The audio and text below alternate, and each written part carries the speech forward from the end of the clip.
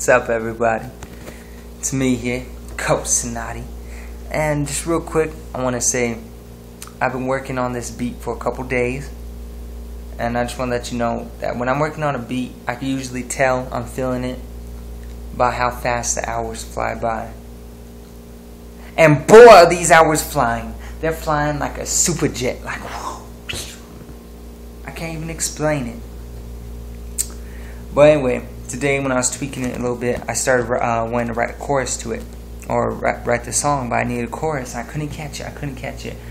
And then, uh, I know where it just came to me. Probably, it just came to me. And then I was like, hmm. Once that chorus came to me, I took it and I ran with it. About 20, 30 minutes later, I had my verse. And I feel good right now. And it's not just to be me and the song. I'm to have a very special guest. Probably one of the biggest people I probably worked with, honestly.